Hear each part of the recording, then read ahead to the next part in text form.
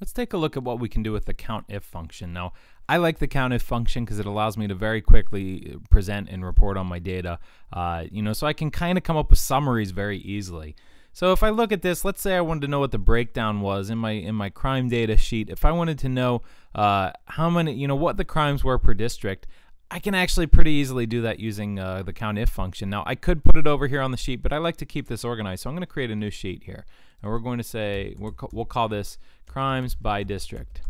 And I can actually just use a function that's built in. I can use unique and I can go back and select all these values. I could type you know all the different districts in but I'm not really sure what they are so I can use that unique function to output those into my spreadsheet. Now uh, the unique function is, is giving me these values in unsorted way but I can just use the sort function to then just sort those very easily. So now I get those values sorted. Now I can take advantage of the count if. So I will use count if, and then I'll go back and select my column. I'll select that whole column, and then if it matches this district. Now, I am also matching the header here because I'm counting the header, but the header is not going to be any one of these values. So you can see this is counting and it's telling me 868 records match this uh, District 1. And I can actually drag that down and I can get all of those. So you can see District 3 is where a lot of crime occurs, and District 1 is very few crimes relatively to the rest. Uh, so, you know, that allows me to present on that piece of information pretty easily, pretty quickly, you know, so I can get that summary and I can, can see that without having to count through each one of these values.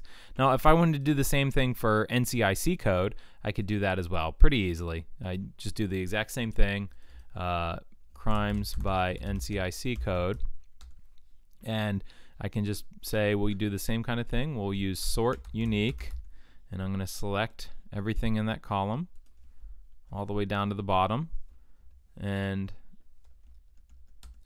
enter and that's going to give me all of the NCIC codes. There's quite a few here. It looks like there's uh, 88 NCIC codes. And but now I, all I have to do is count if, and then go back to my sheet, select my column and then match that to this value and I can then drag this down. I can either copy and paste. I could copy that cell or I could use that crosshairs and just paste it all the way down but here we'll, we'll copy and paste. So I'm going to select that bottom cell. I'm going to hold down shift and click and then I'm going to paste that everywhere here. So you can see where the NCIC codes are and you know how the crimes break down.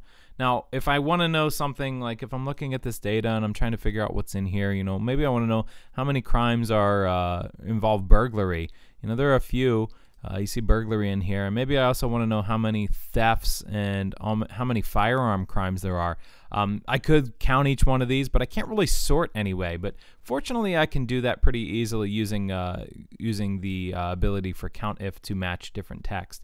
So I'm going to hit plus. Now, COUNTIF you know, I could use a COUNTIF to match how many of these there are, but and I could use that to match how many particular entries there are for an address. But if I use COUNTIF to match some of these other values, we'll see we can actually get some pretty interesting results. So crime types. We'll go ahead and say theft, burglary, and firearm.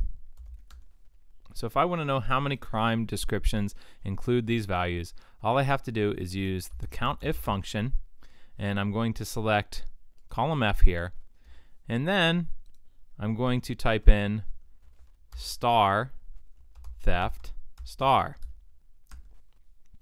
And you can see there are 935 crimes that involve theft. Uh, now that's actually kind of interesting. I can even do this you know I can create different pieces of text by using that wildcard and then joining that with cell A1 and then joining that with another wildcard. And you can see that gives me the same result. It's just basically inserting that, that text theft right into the, the in between the wildcards. If I don't use these wildcards and I just use A1, you see I get zero because it's not actually matching any of these exactly. But when I use those stars, they, they basically match anything before or after theft. So let's go ahead and hit undo and we'll bring that back.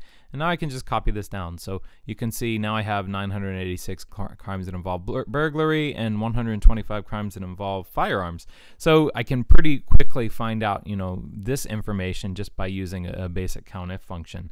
Now, if I want to know some more complicated things, like maybe I want to know for District 3, um, how in, where the grid is above 1,000, how many NCIC codes for 7,000 7, there are. That's going to be a little bit more complicated. So I'm going to have to enter some. I'm going to have to enter a function for each one of my rows. Uh, I can't just count, you know, all of those things together very easily. But what I can do is I can use an and, and I can say where C3 or C2 equals three, and then also grid is greater than 1,000 and also NCIC code equals 7000. So you can see here this is going to come up as false. We can give this a header. We'll just say match. And I can now copy that down just like this or I can copy it. I can go to the bottom of my sheet and I can paste that into every one of my values. You can see we get a lot of falses. There's a lot of falses here. Let's see if we have any trues. So what we will do now is we'll create a new tab and we'll say, we'll just put in a value here, um, district 3, where NCIC is 7,000 and grid is greater than 1,000. Now all we have to do is count if in our original sheet if it's true. That's all we have to do.